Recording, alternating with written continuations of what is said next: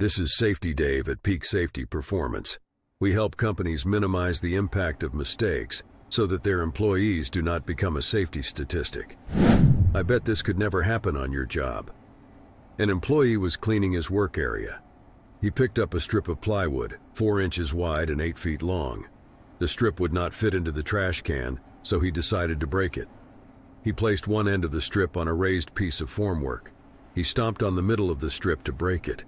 When the strip of plywood broke, the top half sprang up and struck his mouth, causing a laceration to his lip. The laceration required stitches. What would you do different? My first reaction is that you cannot fix stupid. But I reminded myself that we are all capable of making a bad decision.